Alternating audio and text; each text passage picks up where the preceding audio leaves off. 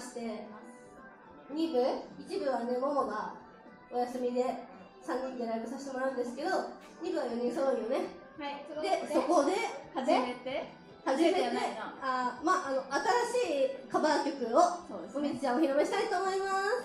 あ見に来てください。ー、新しいのか。お子さんの方は聞いたことがある。